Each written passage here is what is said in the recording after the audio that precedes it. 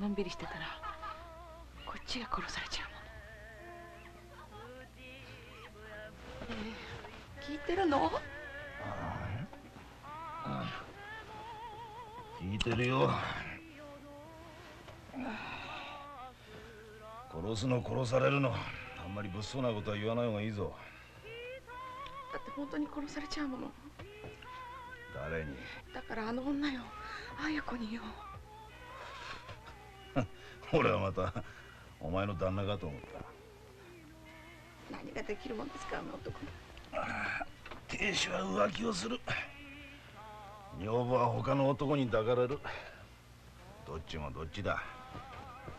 帰るの？あダメ。ねえ糸島だって綾子と一緒で朝まで帰ってきやしないわ。だからねお願い一緒に行って。仕事だ。人に会うんだ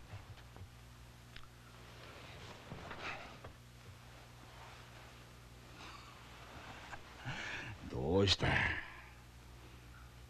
見ておきたいの。あんたのこと。もう一生会えないかもしれないから。お前本当に殺されると思ってんのか？縁起でもないこと言うもんじゃないよ。そんなこと言ってると本当にそうなるぞ店の方うまくいってんのか？まあねそれにしても黒猫亭とは奇妙な名前つけたもんだな。もういらないの？いいのお金いいから取っておきな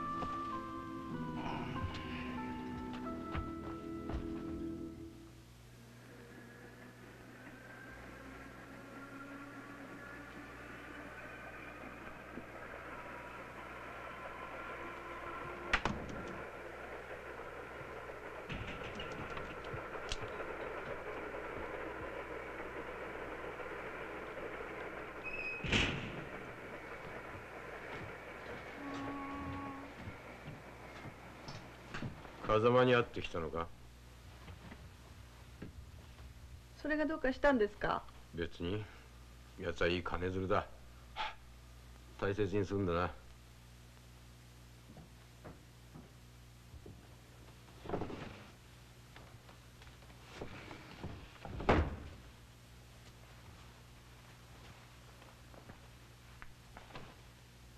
疲れてるようだな奴は強いんだろ。うん？疲れるよな。勢力絶倫の道剣や相手じゃ。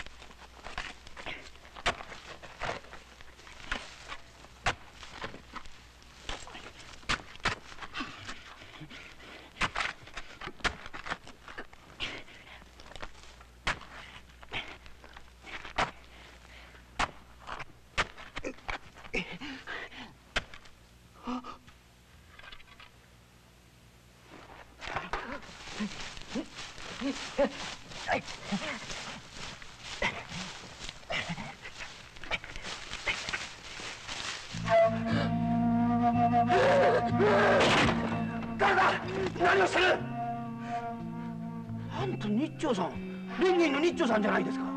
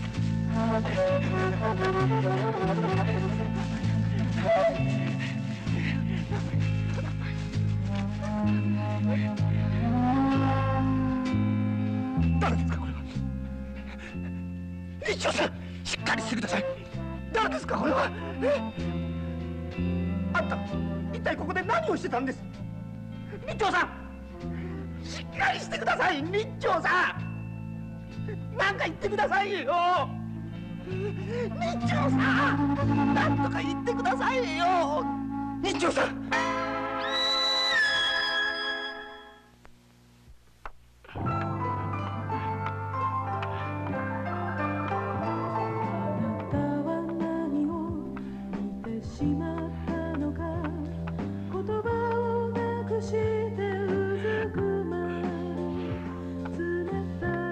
あーすいません。はい。あの風間組の事務所へ行きたいんですが。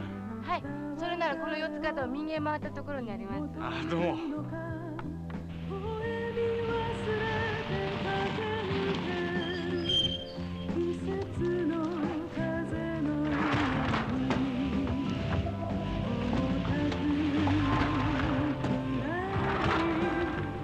ごめんください。はい。あ。あの風間さん。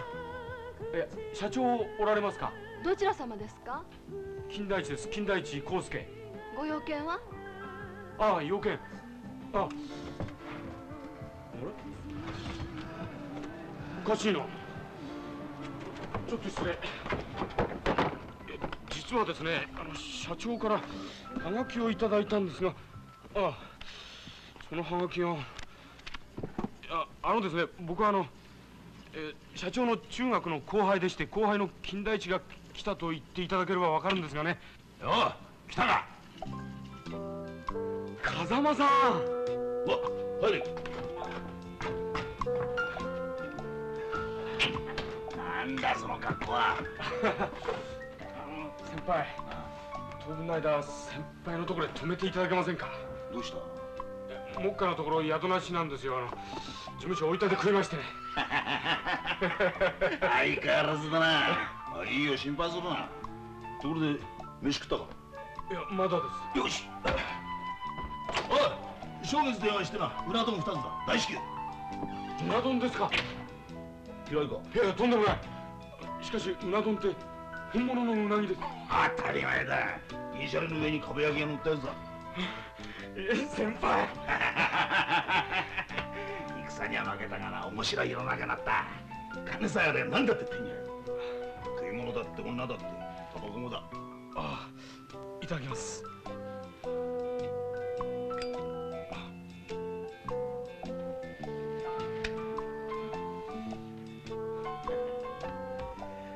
ところでお前まだ探偵屋やってんのか？探偵屋？そうだろいやいや私立探偵と呼んでほしいです なう来てるなええやってますよ。他にやることもないし。しかし働けど働けど我が暮らし楽にならずですよ。その点先輩なんかは。先輩。先輩。先輩。風間さ遅かった。んえ？遅かったよ。お前が来るのが一日遅かった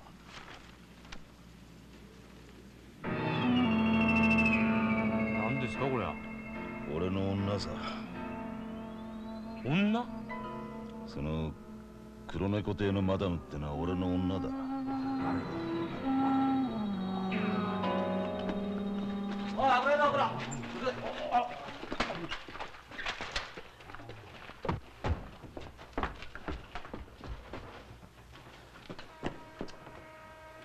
顔がなかったそうじゃな。いや顔はありますよ。ただとも判別しがたい顔でつまりないも同じじゃろうが。何言っとるの？検視の結果どうなる？あ推定で年齢は25歳から30歳死後約3週間死因は後頭部頭蓋骨陥没凶器は先ほどこの穴から発見されたあの巻き割りにほぼ相違ないと思われます人の目の前にな。そういないって凶器なんて掘ったままなんじゃ。鑑識なぜ回さんのじゃん。はよ回せはよ。は。はいけはよ。は。ははって嘘なんだ。このうち誰もおらんのあ経営者が引っ越したばかりでけど大工が入っとるんじゃな。あ新しい経営者が店を改装中でしてちょっとお茶もらえんじゃろうかな。私もさっきから喉乾きっぱなしじゃ。お茶ですねはいあのお茶。こういうことは早いんじゃな。丁重に頼んでくれよ。強行の現状は多分この部屋かとなんでわかる？なるほど。痕跡をくらますために畳を移動した跡があります。それからこれを。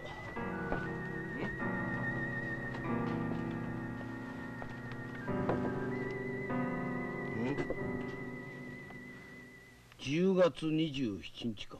あこの新聞の日付から見て犯行は多分10月27日か8日。まあ遅くとも11月の2日か3日じゃな。は検視の結果とも大体一致するな。よししかしこう殺しが起きちゃかなわんな。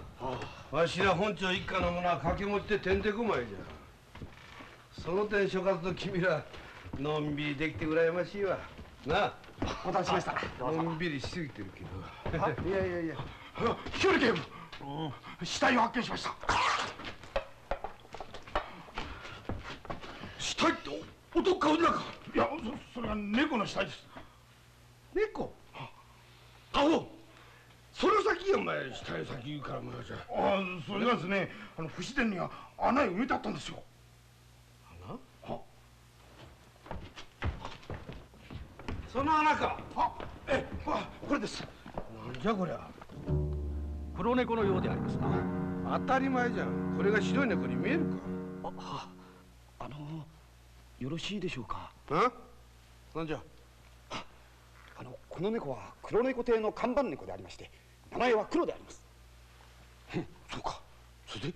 それだけであります何の参考にならんわ。合うかお前。申し訳ありません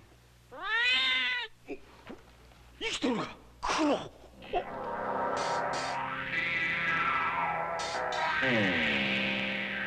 にすんな。猫は2匹おったんじゃ。おう。それ。待てよ。ひょっとするとこれは事件に重大な関係があるかもしれない。大水小表小号名総督千十百約千万の空中上。ん？ようもうやめたんですか？日朝さんですな。何ですか？何の用ですか？いやいやわしはな警視庁の日和っちゅうもんじゃ。警視庁？うん。恐れ入りますけど昨べあなたが死体を発見した時の状況な。それはもうお話ししました警察で何度も話しました。いや何度でもお伺いするのが我々の仕事でしてな、えーあなたは23日前裏の崖の上を通りかかると下の黒猫亭の庭で犬が落ち葉を掘り返しとった。ふと見ると人間の足らしいものが落ち葉の下から覗いとった。間違いありませんな。分かってますよ。その時なぜすぐに警察に届けなかったのかそれをまた聞きたいんでしょ？その時あんたは人間の足だという確信が持てなかった。だから23日放っておいた。だがどうにも気になってそこであんたは夕べの0時近くシャベルを持ち出して犬が掘っていた辺りを掘り返した。間違いありませんな。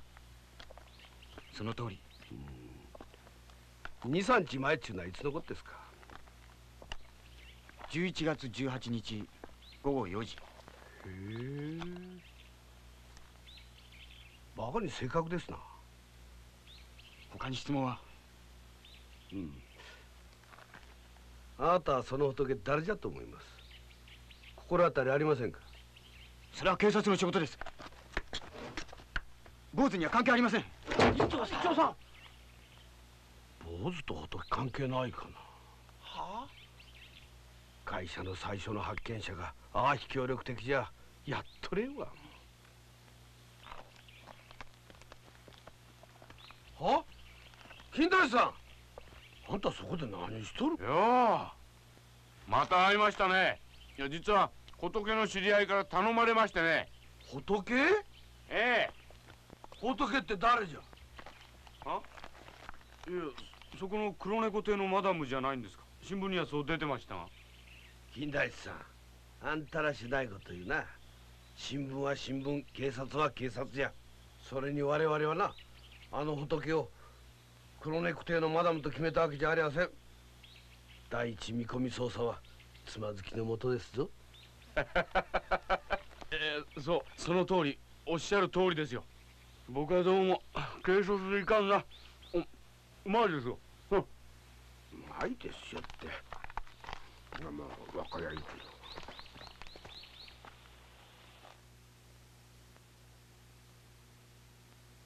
黒猫亭の経営者はこの糸島大吾重の2人です。今年の2月にあの店を開店。今月14日つまり1週間前に新しい経営者に店を譲ると神戸の方へ引っ越しています。店はなかなか流行っていたようで。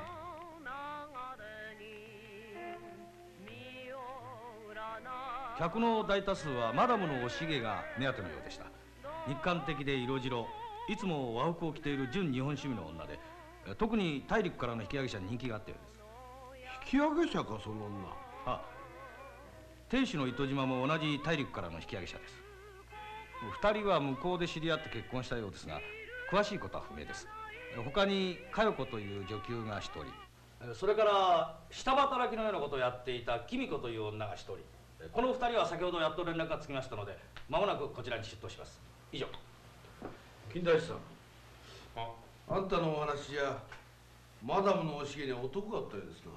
そうです男がいます。風間俊六って言って大森で土建屋やってます。これも大陸からの引き上げ者でおしげが横浜のキャバレーで働いていた時そう正確には2年前昭和20年のクリスマスに知り合いそれからしばらくはその風間がおしげの世話をしていたようですね。当時はまだ亭主の糸島が大陸から引き上げてきていませんでしたからね。その風間っちゅうのがあんたの友人でしたな。ええ中学の先輩です。ひょっとしたらその男がおしげを殺すか。え？ようあるじゃろうが邪魔になった女を殺す。殺しておいてそれを亭主の犯行に見せかけるまあその可能性も。あります。大いにありますね。え？いや可能性というのは誰にでもあるから可能性なんです。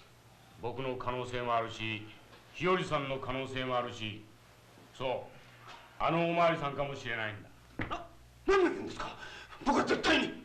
えー失礼。これ例えばの話ですよ悪い例えじゃえー問題はですねあの顔のない被害者が一体誰なのかどこの女なのか。そうだ。女だってことは確かなんですね。ああそれは確かです。金田一さん。わしの患者はやっぱり殺されたのはおしげとしか思えんのじゃ。いやこの事件思ったより複雑ですよ。第一探偵小説なんかでも顔のない死体っていうのはこれ一番ややこしいジャンルの一つですからね。探偵小説。小説じゃありゃしませんぞ。これは現実の事件じゃ。が小説と現実を混同すると話ややこしなるじゃ。気ぃつけてもらわないけんわ。なあ。失礼します。警部。うん？参考人が出頭しました。うん。そうか。よいしょ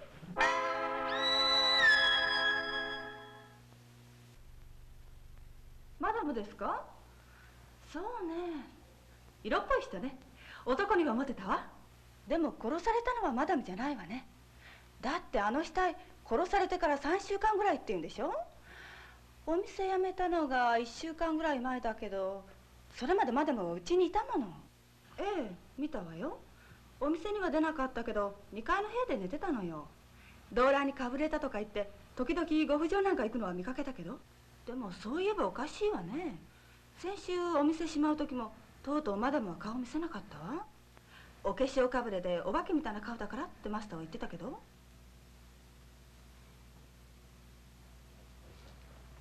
私殺されたのはあゆ子さんだと思います。あゆ子？なんじゃその女？マスターの恋人なんです。恋人？はい私は去年の開店の時からあそこで働いてますけど初めのうちは2人とも口喧嘩一つしたことなかったんです、でもそのうちに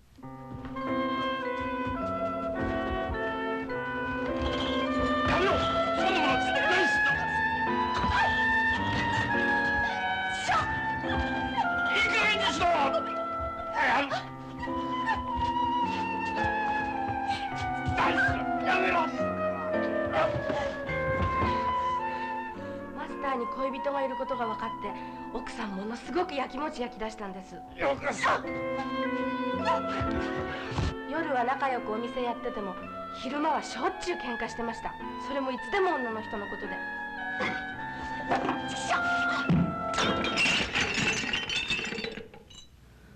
その女見たことあるんか？はい一度だけ。奥さんに言われてマスターの後をつけたことがあるんです。うんつけた。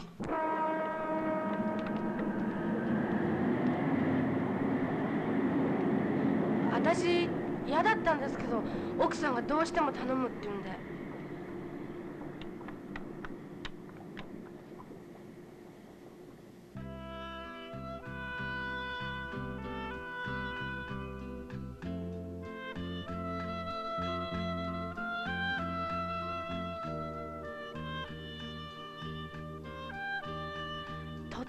派手な様相でモダンな感じの人でした。私は二人にすぐ巻かれちゃったんですがでもその時女の人が差してたパラソルが。パラソルが？はい。どうした？この間お店にあったんです。店に？お掃除してたらお店のカウンターの裏にあったんですでも私関わり合いになるのが嫌だから奥さんにもマスターにも言わなかったんです。おまけに1時間ほどしたらもう誰かが片付けて影も形もないんです。奥さんが化粧かぶれだって顔出さなくなったのはその日からなんです。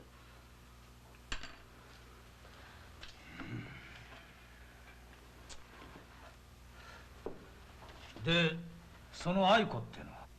桑野あゆ子って言うんです。あの銀座の日課ホールのダンサーなんです。天津にいた頃の知り合いだそうで奥さんとっても悔しがってました。あんなはすっぱな女に負けるもんかいつかきっとやっつけてやるって。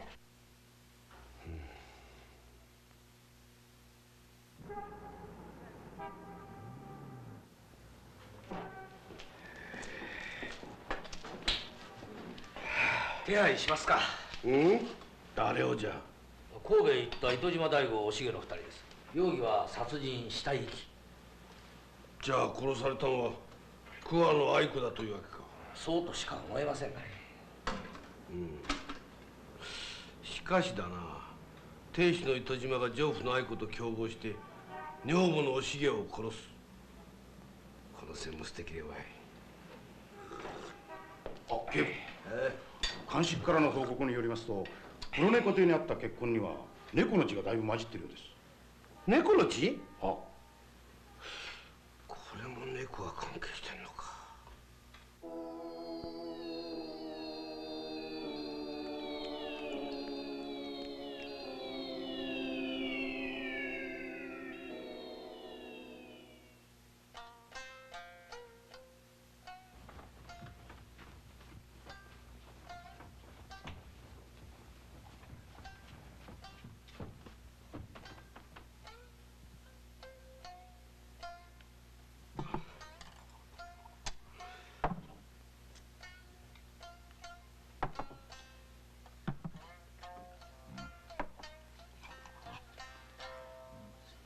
どうぞごゆっくり。は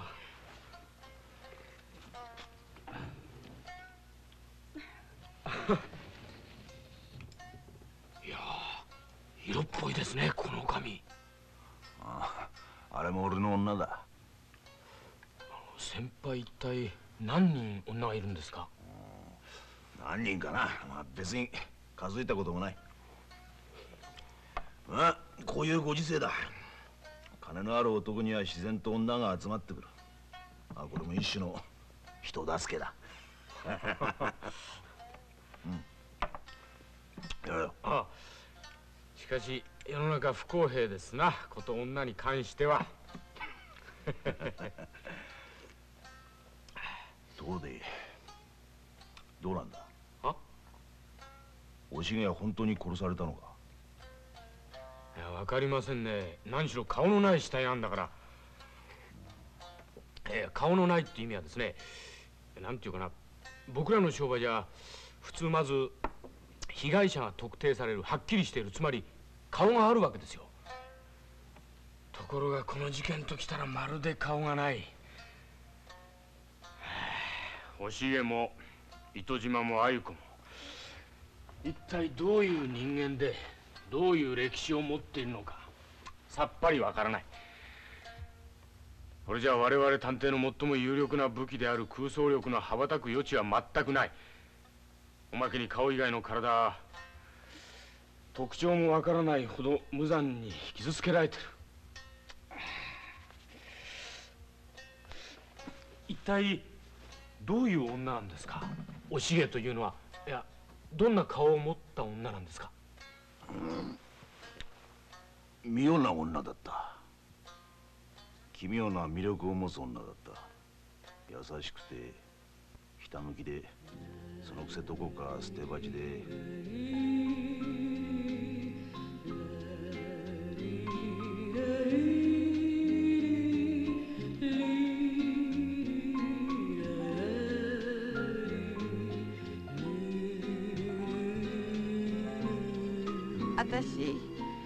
監獄にいたことがあるんですよ。人を殺そうとしたんです。18の時に無理やり望まれて絵描きと一緒になりましてね。そこの姑が嫌な姑で散々いびられていびり抜かれて私殺してやろうと思ったんです。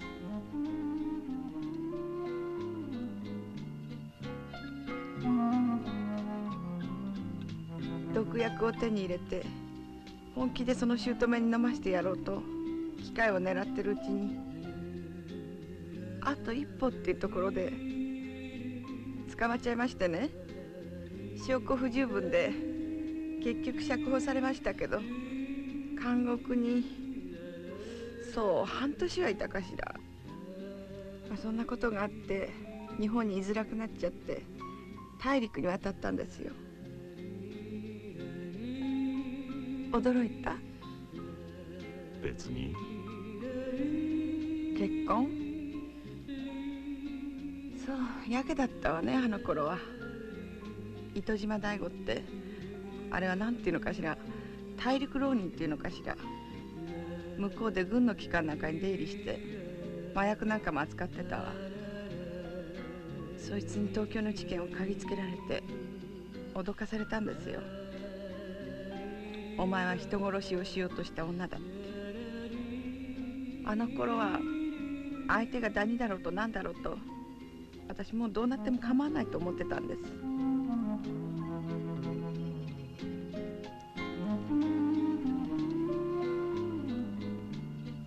人島が帰ってきたの。引き上げてきたの上海から。けどとうとう見つかっちゃった。そのうちあなたのことだってきっと嗅ぎつけるわ。昨日俺の会社へ来たよ。会社へ？お前さんが店を持ちたがってる。酒場を開きたいから金を出せって。つまりゆすりだ。それで？5万円の小切手切った。面倒だから手切れ金ね。手切れ金？そうでしょ。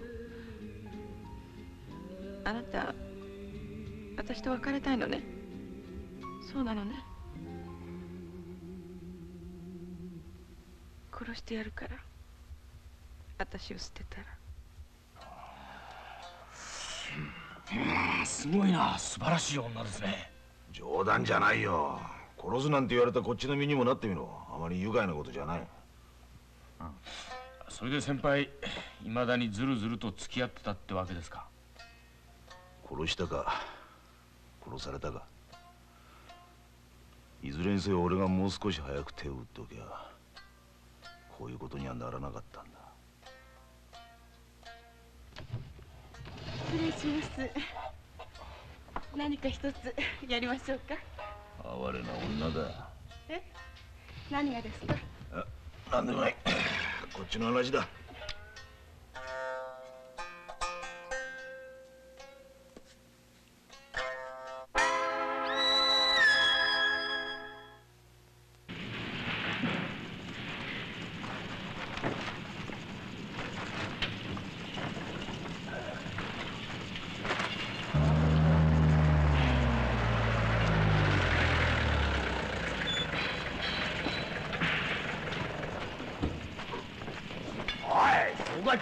そこは違うんだおい何見たらわかんだろあああんた風間さんですな。ああ日和警部ですね。なんでわし知っとんいや今日あたりお見えになるんじゃないかって金田一が言ってました。ところであんたおしげって女知っておりますか？知ってます。警察までご足労して使わさないんじゃ。死体を確認してもらえてい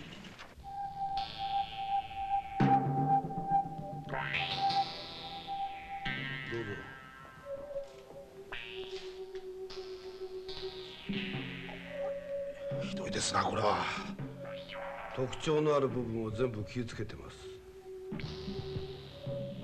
どうですかいやこれじゃ別れと言われても無理ですよ。そりゃそうですな。何か記憶にありませんか？例えば盲腸手術の後とか。いやまあ胸のあたりがおおしげに似てると言えば似てるがしかしこの分かりませんな。結構ですところで亭主の糸島ご存知ですか？えまあちょっと。ちょっとってどの程度ちょっとですか？いや一度会っただけですから詳しくは知りませんよ。じゃああんたより誰か詳しく知ってる人知りませんか？えーそうですね。今うちで使ってる労務者で引き上げ船で糸島と一緒だった者がいますからこれはいつでもご紹介します。糸島ですか？嫌な野郎ですよ船の中で同じ引き上げ者の女が取られ込んでるっしょって。女を？上海の女郎屋にいた女ですけどね。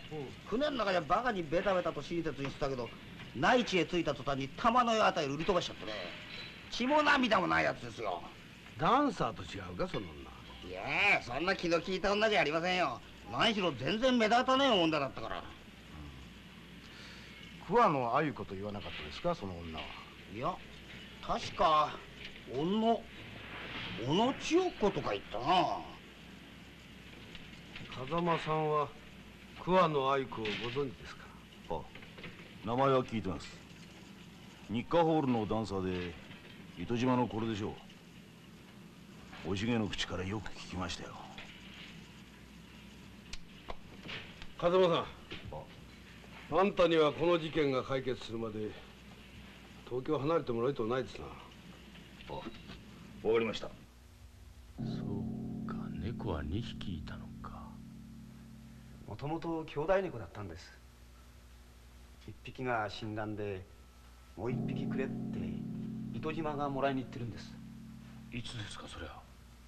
例の愛子のパラソルがなくなった夜です。10月の？27日。ほらあの新聞の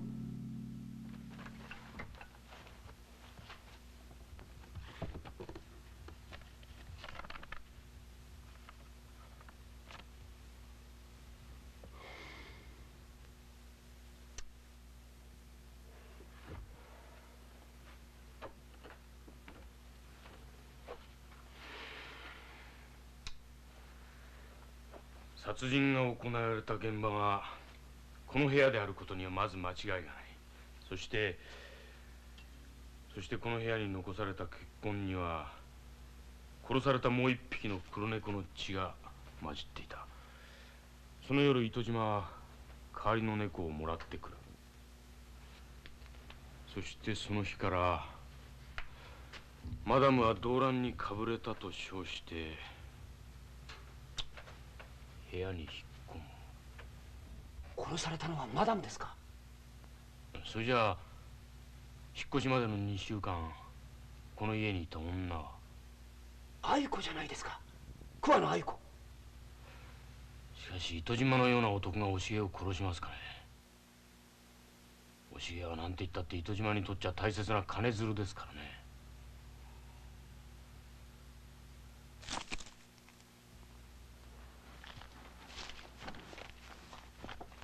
誰ですかあれ。裏の坊主です。ああ。日朝さん？死体を初めて発見した男です。どうもここのマダムに気があったらしくいつもその崖の上からこの家を覗いていたようです。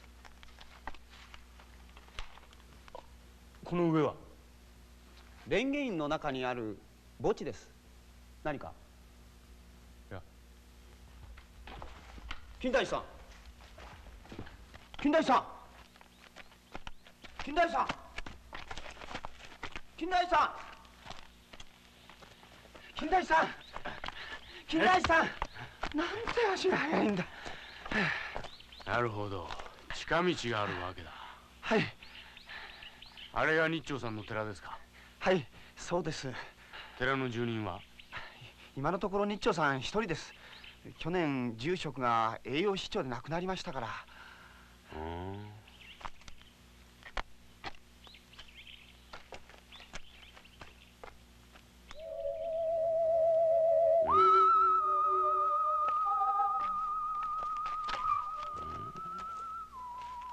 落ち葉っていうのは石の上に落ちるもん。だがこれは石の下にあるな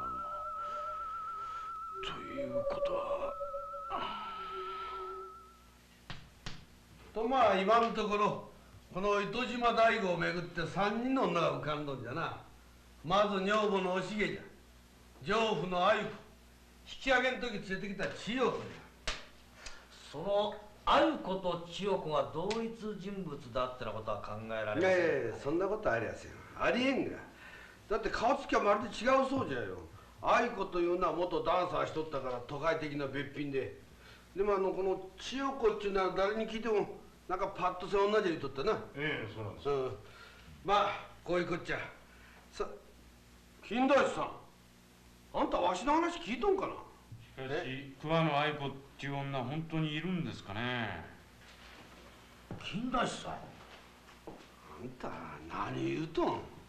いやいや今のところ愛子の実在を証明するのはおきみさんの証言だけでそれもパラソルの中の愛子を遠くからちらっと見ただけなんでしょ？いやいやとんでもない。日課男装の連中もちゃんと証言しとるんじゃよ。桑野愛子ですか？覚えてます、えー去年の暮れに入りましてそう一月ほどでしょうか。すぐ辞めました。上海からの引き上げ者と聞いてますがまあ踊りはともかく陽気で派手好きな女でしてね。お客様には人気がございました。住所わかりませんか？住所ですか？さあそこまではちょっと。いやどうも。私あゆこさんに会ったわよ。二月ほど前有楽町の日劇の前で。小太りの中年の男と一緒だったわ。彼女相変わらずチリチリのパーマかけてこの辺につけぼくろなんかつけちゃって。とにかく目立ってたわあゆこさんって。そうか。本当にいたんですかまあこれ以上は疑いようがないでしょうな。な。えー、え？それじゃあ殺されたのは誰ですか？桑野愛子ですか？うーんまあ結果から見てそう思わざるを得んじゃろうな。何しろ事件が発生したのが10月27日じゃ。これはまあ死体解剖の結果と襖の新聞の日付女中のお君のパラソルに関する証言などから見て間違いなさような、でまあ糸島夫婦が引っ越したのはこの11月14日じゃ。この2週間余りの間お重が黒猫邸におったのは確実のようじゃからな。待ってください。え？問題はそこなんだ。2週間の間おしげを目撃したのはおきみと女給の佳代子しかも2人ともはっきりと顔を見たわけじゃない。ほとんど部屋の中に閉じこもりっきりだったんですよ。それをどう考えるか。でも女がいたことは確実です。糸島と重は糸島の女愛子をめぐって喧嘩が絶えない。お重は愛人の風間やおきみに向かっていつかあの女を殺してやる。そうはっきり言ってるんです、まこれだけ材料がそれば死体は愛子と断定せざるを得ないと思います。あんたはおしげち女と思われてますからパトロンの風間に対しても私捨てたら殺すとまで言うとるそうじゃないですか。そげな気の強い女が亭主の丈夫にむざむざ殺されると思われますか？そう。それはそうなんだが。なあ犯罪というのはな人間の行為の中で最も人間臭い行為ですぞ。そこんとこよう押さえとかにゃ。ただただいたずらに混乱を招くばかりじゃ。うん。警部うんいいんだ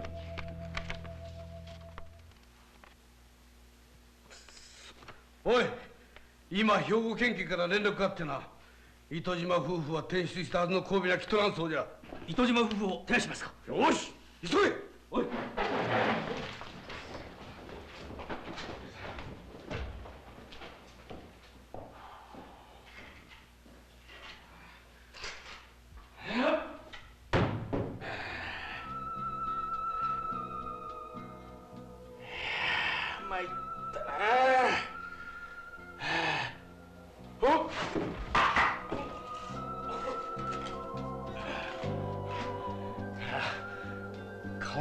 死体ってのは全く苦手でしてね。これが探偵小説だと顔のない死体は大抵の場合被害者と加害者が入れ替わるっていう公式があるんです。ただこの場合その公式が当てはまるかどうか。この謎を解くのはそうあなたです。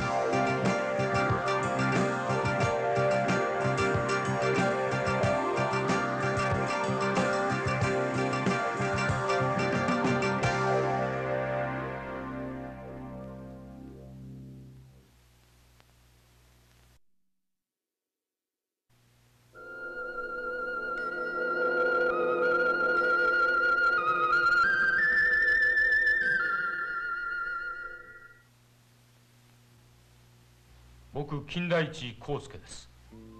昭和22年秋も終わりの頃東京郊外の蓮華院という寺の裏手にある酒場黒猫亭に奇怪な殺人事件が発生しました。死体は30歳前後の女性と推定されたのですが顔も体の特徴的な部分も全て巻き割りで傷つけられているという無残な死体でした。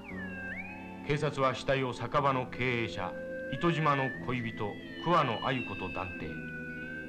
糸島とその妻おしげを全国に指名手配したのですがそのおしげの愛人だった風間俊六の依頼で捜査に参加した僕はどうも警察の判断にもう一つ割り切れぬものを感じていたのです。顔のない死体は果たして誰か。殺された女は一体何者か。そして同時に殺された黒猫の謎は。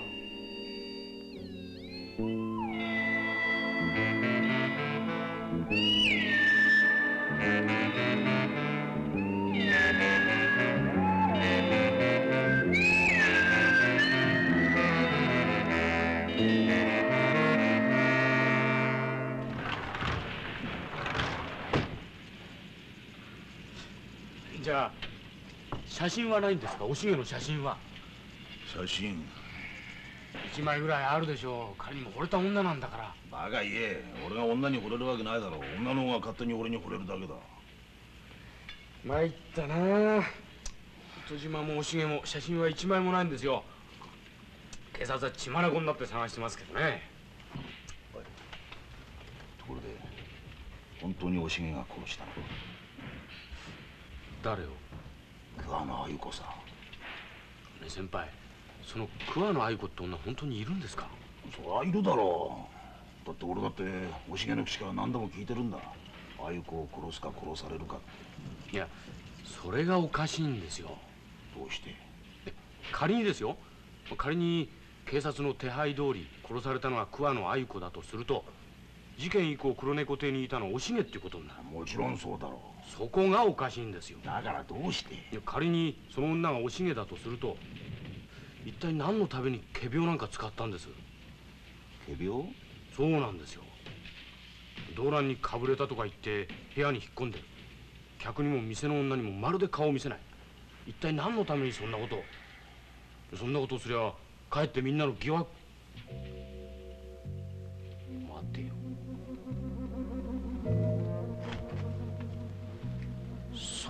か。それはあるな。それ確かにあるな。おいなんだよ。つまりですよ。目的は疑惑なんだ。疑惑を持たせることなんですよ。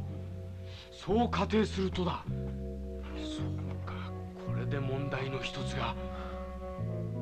いや待ってよそうなるとだな。康介。おしげはああいうこと入れか。で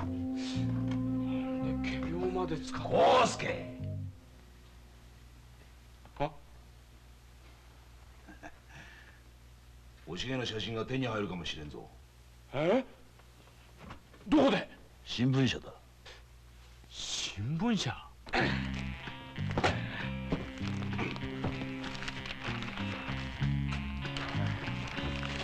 れが昭和13年の分ですね。あ12年まででいいんです。日中戦争の始まる前の事件ですから。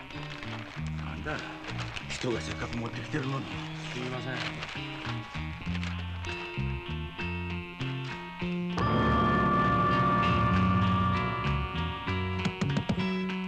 ねえすみません。この写真23枚複写してもらえませんか？副社ね。お待たせして。いえいえとんでもない。無理やりに来てもらうんですから。おはようございます。おはようございます。ダンスホールっていうのは昼間もやってるんですか？うん。近頃は学生さんが多いもんでね。失礼失礼。どうぞ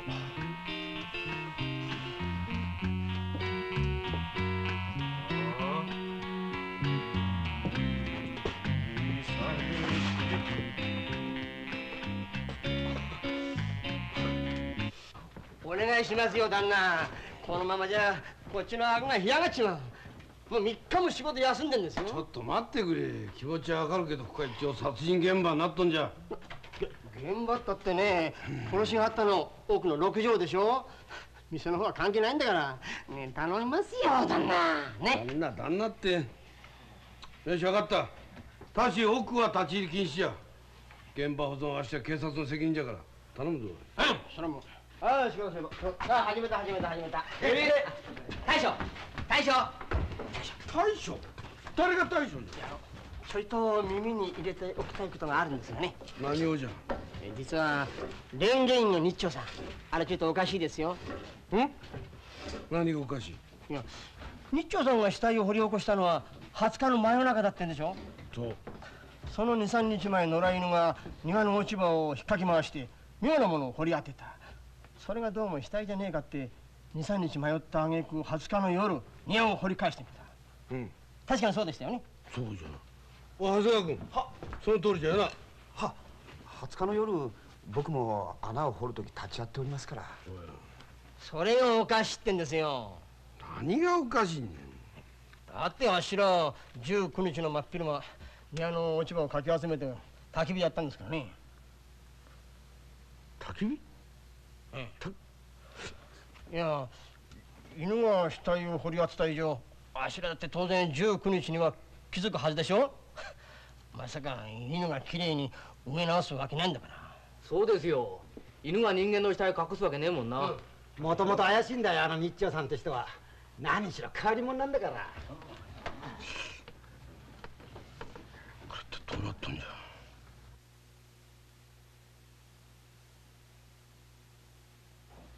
この前の証言は嘘です。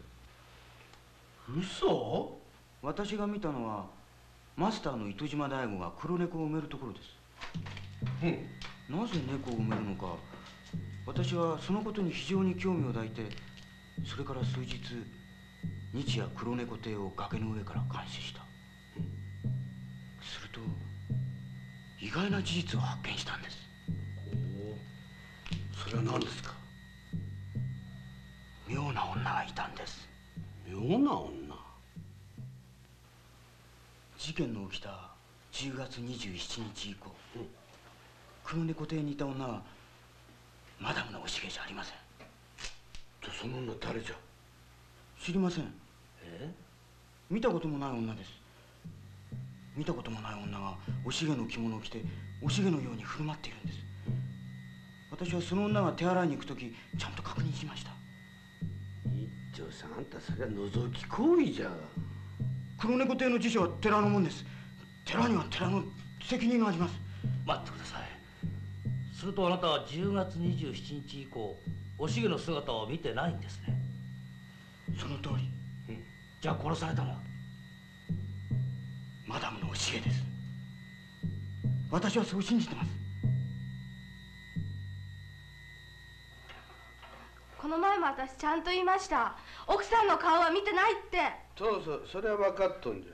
でもあんた多分マダムのおしげに間違いないと。顔は見なくても体つきやなんかでそう思ったんです。声だって奥さんにそっくりでした。うんしかしな日長さんは絶対におしげじゃない言うとんじゃ。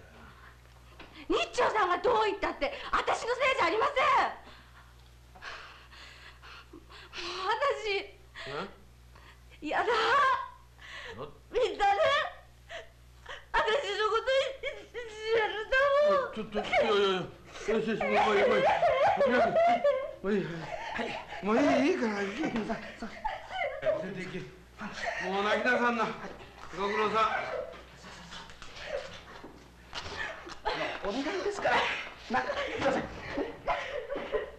高井君あ君はどう思うあ私は日朝の証言を取りますね理由は彼は毎日のように黒猫手を覗いてるんです、つまり覗きの常習犯です。その男がはっきりおしげじゃないと言ってるんですから。村井君君はどう思うかいやー参りました。もし鮎子がおしげを殺したとなると昨べの指名手配の内容が逆転するわけですよ、こいつは我々の偉い黒星になりますからね。はい。警部。金田さんがお見えです。金田さんが？おお、日和さん。お土産ですよ、お土産。お土産？へえ。おしげの写真手に入れました。ただし、18歳当時の写真ですが。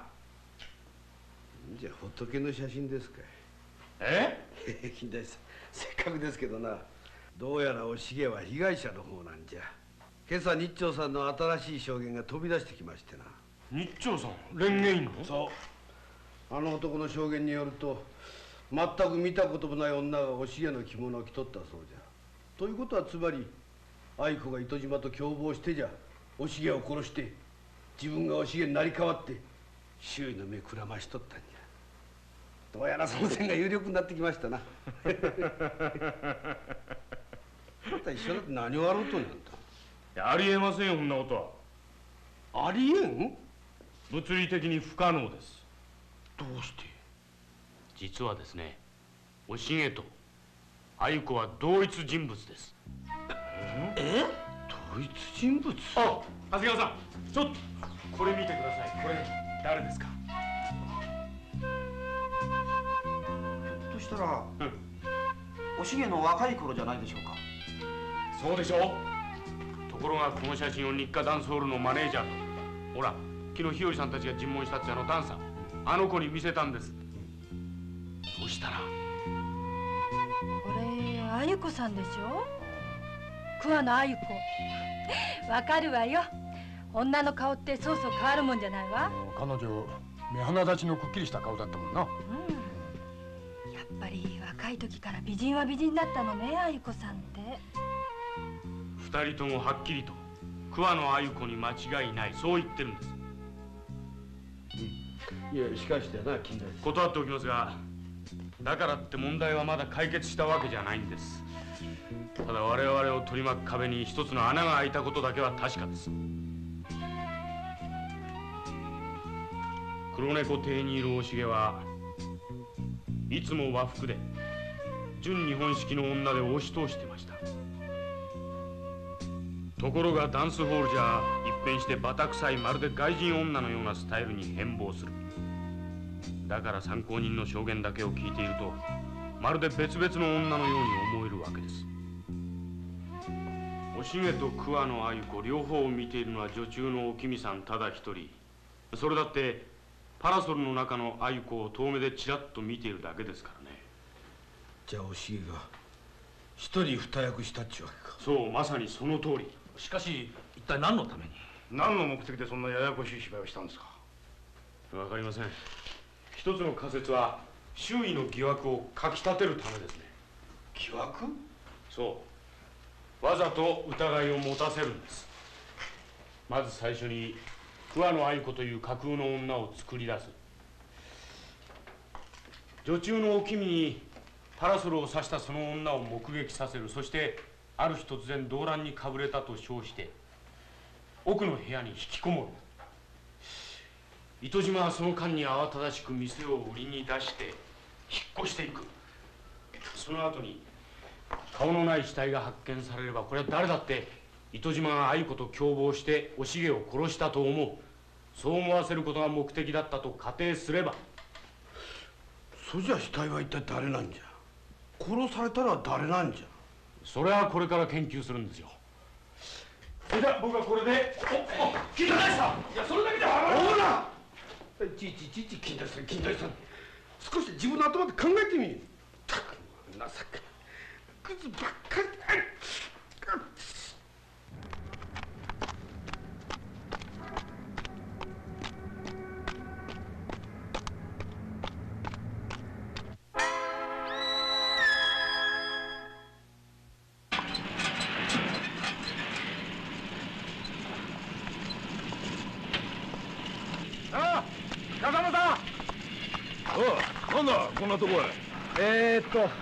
の人なんて言いましたっけ？ほら糸島と同じ船で大陸から引き上げてきた。ああ。浜本かあそうその浜本さん。ちょっとここ呼んでくれませんか？おい浜本！浜本いねえかえちょっと降りてこい。いはい。ねえ風間さん？小野千代子って知ってますか？小野千代子？糸島が大陸から連れてきたとかいう。いや知らないな。じゃあお重の口から彼女の名前聞いたことありませんか？うーん記憶にないな。桑野鮎子って名前だったら時々聞いたことあるけどな。風間さん、その鮎子っていう女やっぱり架空の存在でした。え？おしげの一人二役。初めっからいなかったんですよそんな女は本当かおい。え何でしょう？あ浜本さん。小野千代子が今どこにいるかご存知ありませんか？さあ玉の井だってことは聞いてるけどね。玉の井。店の名前は？知らねえなそこまでは。玉の井ね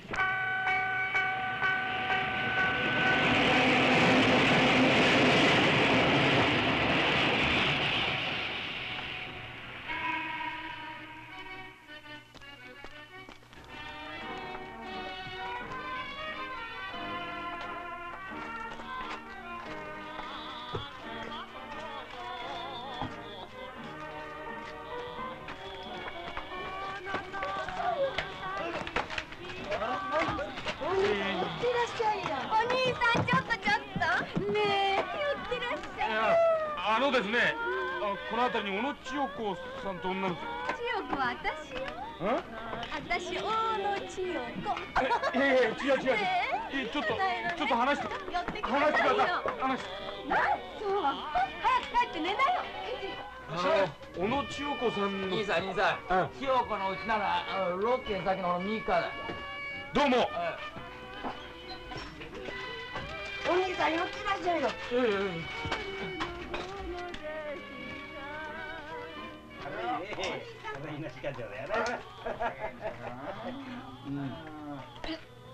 あのちょっと伺いますが。あらいらっしゃいませ。ちょっとはめちゃんお客さんだよさあさあどうぞ。どうぞいやあの僕はあのこちらに小野千代子って女の人がいるって聞いてきたんですが。なんだよお前さん。お千代の紐かい？いや僕はおいてめえだな。お千代の足抜けやがったのちょちょちょっとあんた。あんた。おいおいおい。ああでででどこだよ。どこで転がしやがった言えよ。僕は僕はおい。おい。待て。落ちてどけ高木さん。何？大丈夫ですか？警視庁だ。警視庁。え？いやあのなななんです？と話を聞きたいことがあるんだけどいつですか？小野千代子がいなくなったのは？先月の末です。10月の27日だね。はい。それはまあ戦争に負けて日本は自由主義になったんだからまあ店を辞めるのは勝手なんですけどね。だけどねあなたこっちだって下着やなんか高いお金払ってんだからね。高玉に来ますよ。この女ご存知ありませんか？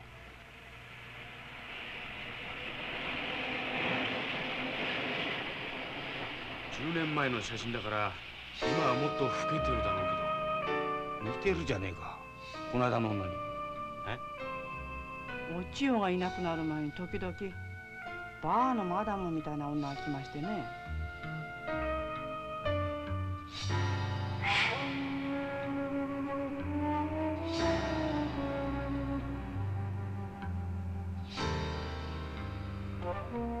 いつも二人でひそひそやってるんですよどういう女か聞いてもあの子は教えないし。私もね気にはしてたんですよね。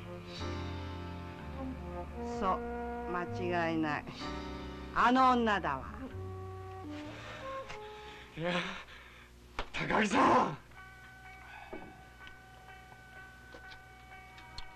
やっぱりあの死体はお千代ですか？ええ多分。それじゃおしげが糸島と共謀してねえ高木さん今夜一晩あの寺に見張りつけてくれませんか？寺？どうも僕には日長さん気になるんですよ。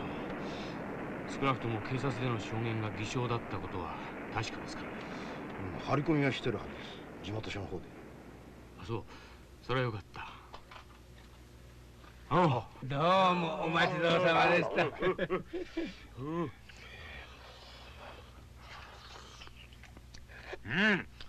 なかなかいい粉使ってるなこの水筒ええアメリカ軍の倉庫からかっぱらったんですよ。警察には内緒ですがね。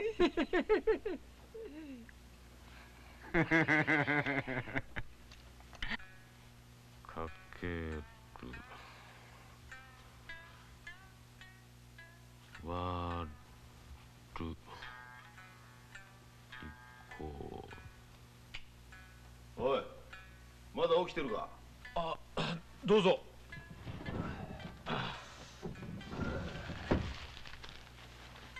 あ探偵ってのはまるで数学だな。数学っていうより化学ですよ。1たす1が2になったり3になったりしますからね。それで答えは出たのか？いや問題はねこの猫なんですよ。猫？一匹の黒猫が殺されていた。その猫の血が殺人の現場に残されていた。これは一体何を意味するのか。そこんとこがどうにも解けない。まったくお手上げですよ。猫か。猫ね。あそういやあいつは猫好きだったな。え？いやおしげだ。店の名前を黒猫店にしたぐらいだからな。妙に猫が好きだったいつだったか箱根行った時もな。ちょっと見てこの傷。え？どうした？引っかかれたのようちの猫に。猫？この間さ布団の上に粗相したからね思いっきり引っ叩いてやったの。そしたらパーッと噛みついてきてさ。普段結構おとなしい猫なのにそれっきりプーッと打ち取り出して帰ってこない。猫ってそうなのよね。ギリギリのとこまで我慢するけど一度怒ると平気で主人に歯向かってくるんだから。お前も普段は猫をかぶってんじゃないのか？そうよ。私の体の中には猫の血が流れてるの。怒ると怖いわよ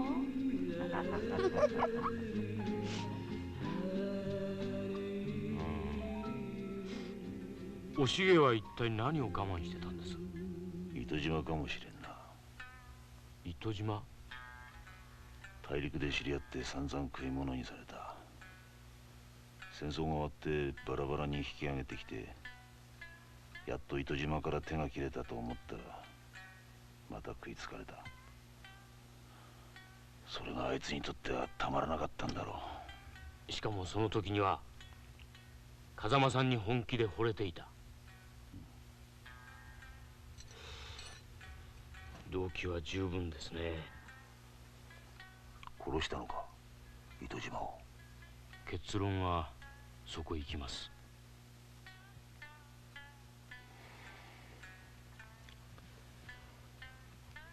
俺も寝るわ。眠れそうにもないけどな。おやすみなさい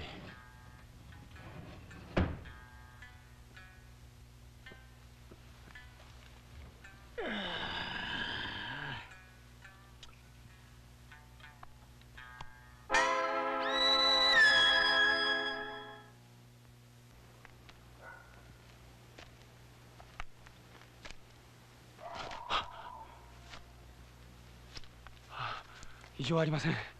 ご苦労さん。俺はクレへ回ってみるから本堂の方頼むぞ。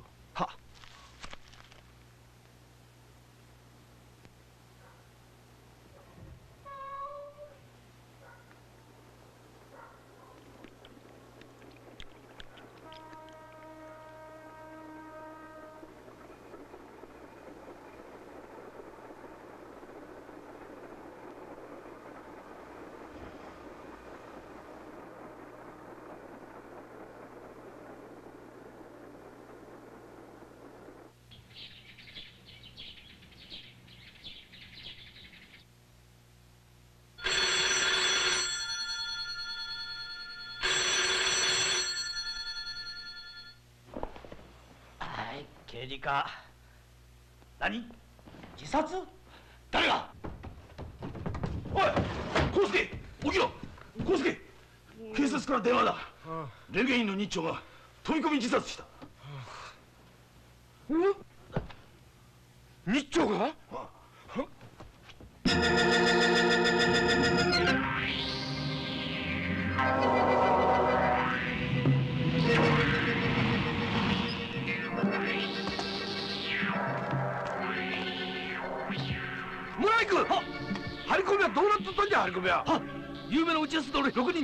何人出ても逃げられたら何もなりゃせんじゃろうが。まったく君ら何やっとったんじゃまったく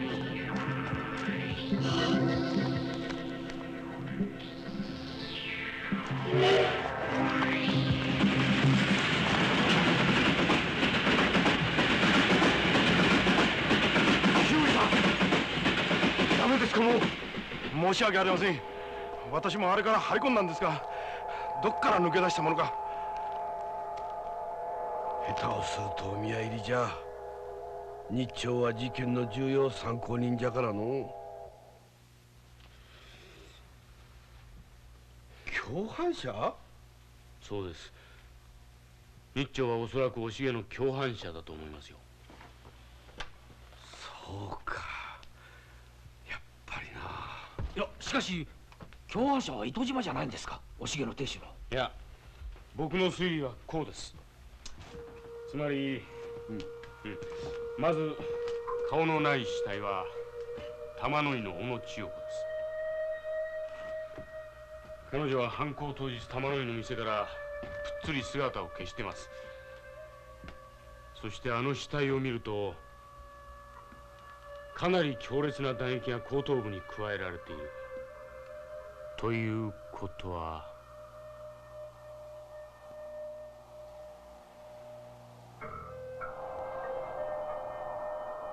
つまりこれは女の力というより男の共犯者があったと考える方が自然です。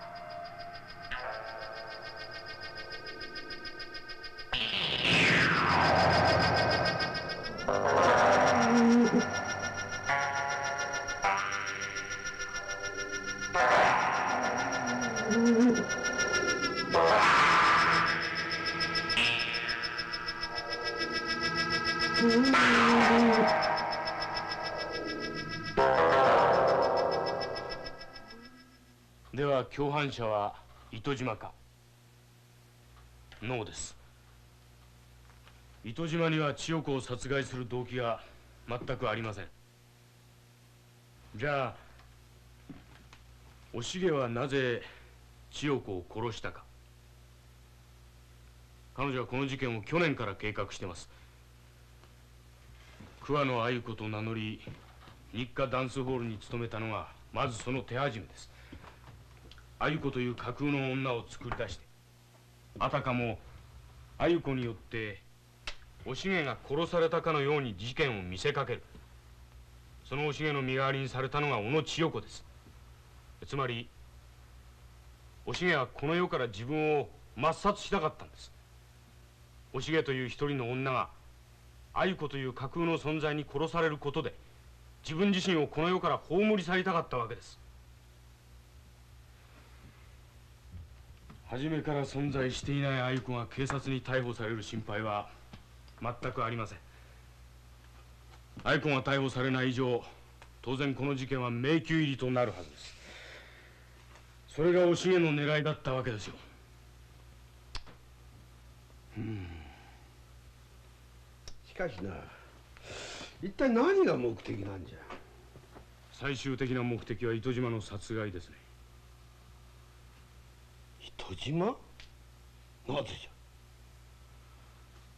お重は糸島を憎んでいた。自分を食い物にしダニのような糸島を徹底的に憎悪していた。しかも彼女には風間俊六という恋人がいた。生涯でたった一度本気で惚れた男ですよ。ちょっと金田さん。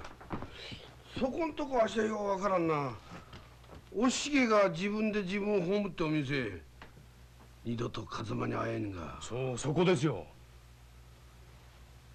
まったく女ってのはわからんな。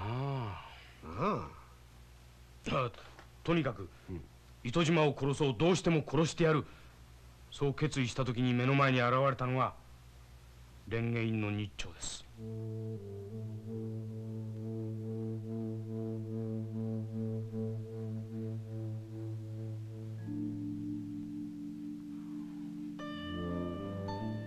日朝がいつも黒猫亭を覗いていたのは糸島と店の女おきみの留守を狙っていたからでしょう。とにかく日朝を手なずけたお重は折を見て自分の糸島殺害計画を打ち明ける。お重に惚れきっていた日朝が嫌というはずはありません。小野千代子を庭に埋めたお重は引っ越しの夜黒猫亭の地主である蓮華院に別れの挨拶と称し糸島を連れ込んだに違いありません。そこに待ち受けていたのはもちろん日朝です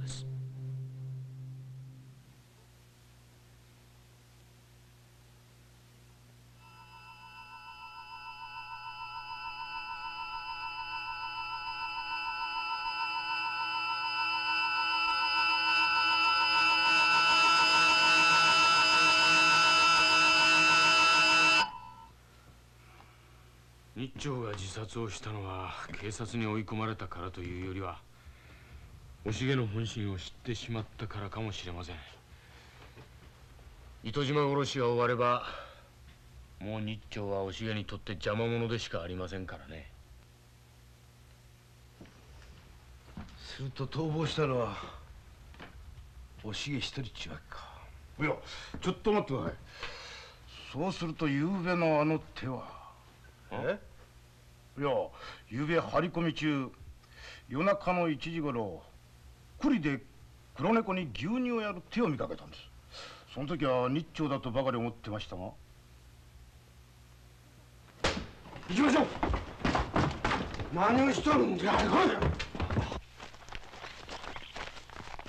ああこの下掘ってみてください。石の下に落ち葉がある。最近この石動かした証拠ですよ長谷川君。は。手配せ。手配と申しますと。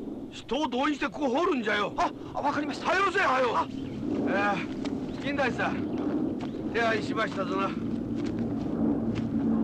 いたなまさかこんな金田一さんそこにおるんかな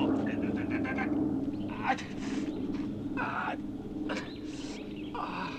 大丈夫かな急におらんようになるもんじゃから。えー、よしよし。わしも降りる。よえー、お頼む頼む。ええか手離す。手離すな。いっぺんに手離すな。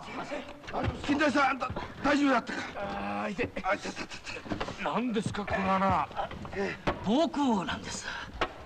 防空壕。ええ。この辺にはねまだところどころ残ってるんですよ。そうか。日朝はこの穴利用して張り込み突破したんじゃな。なるほど。じゃあ寺に通じてますねこの穴。よし。行ってみよう。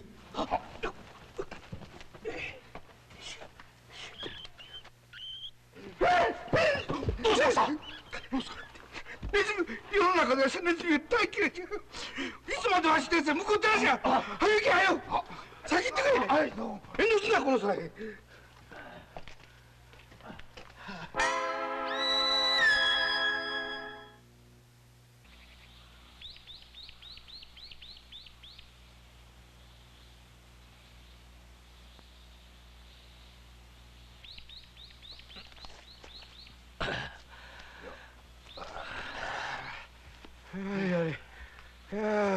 や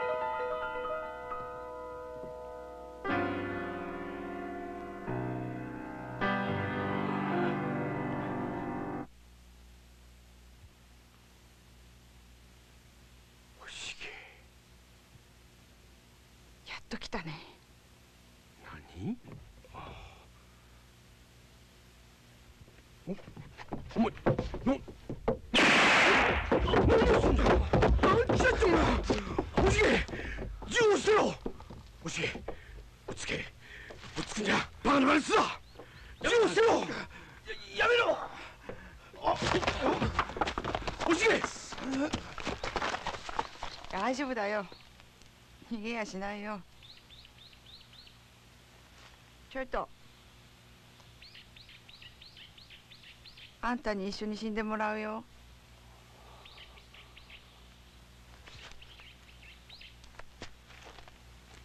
一人であの世は寂しいからね。おしげ待て！おしげもういい。バカなまねはよせ。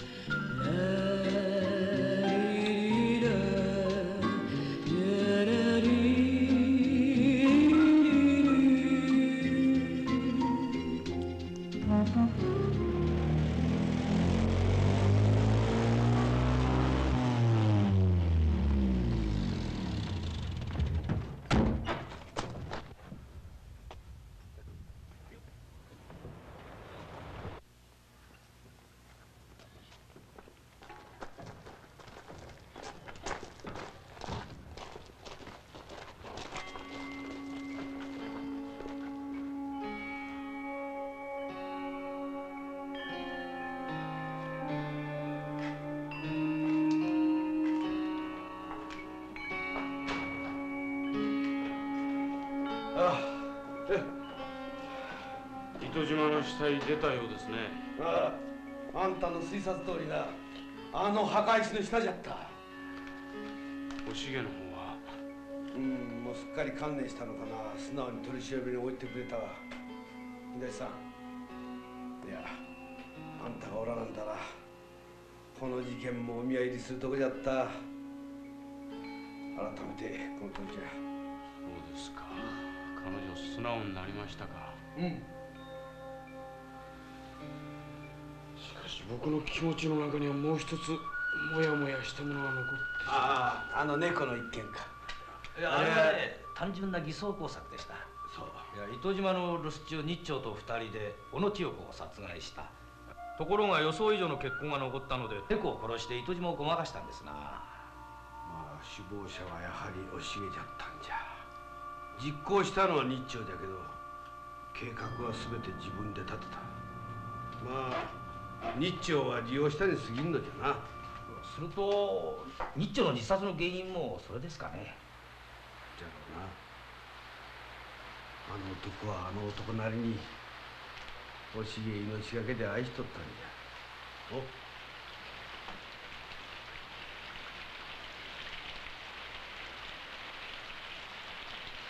ああとうとう雨か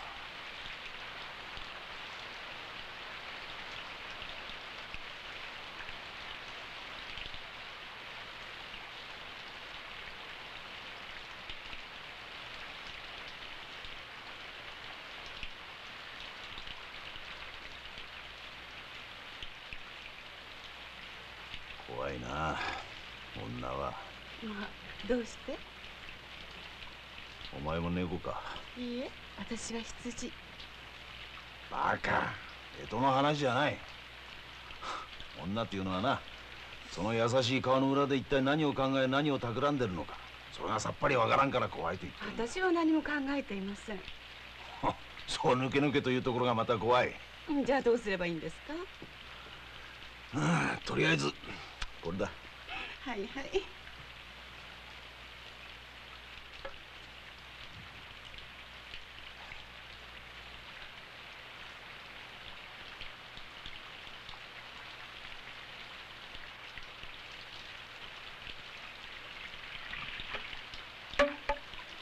戦争かあ戦争がおしげの運命を狂わせた。んだ戦争さえなきゃあいつも案外平凡な女の一生を終えたかもしれん。大陸には行かなかっただろうし糸島と会うこともなかったろう。それだけですか？あなたには責任がないんですか？俺に？おしげはあなたに本気で惚れていた。それにあなたは本気で答えてはやらなかった。いや風間さん初めから遊びだったのかもしれない。でもあの女は本気だった。あなたはおしげを傷つけまいとして帰っておしげそのものを殺してしまった。この事件の主犯は風間さん。あなたのその優しさなんだ。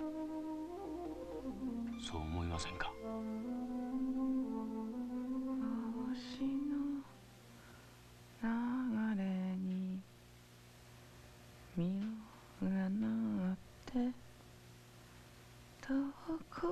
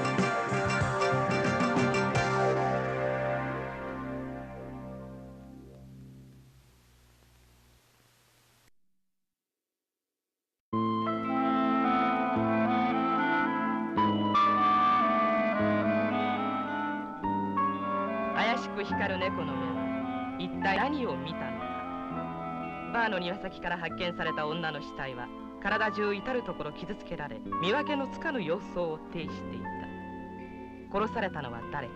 そして犯人。は巧妙な犯罪トリックに金田一耕助が挑む。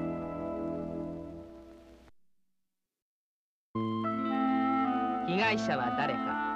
捜査線上に浮かび上がった3人の女。おしげ桑野あゆ子小野千代子。その誰もが被害者にそして犯人にもなりうる。しかも再度尋問を受けたお君は黒猫邸にいた謎の女はおしげだと言い張り日朝はおしげではない別の女をはっきり見たと断言した。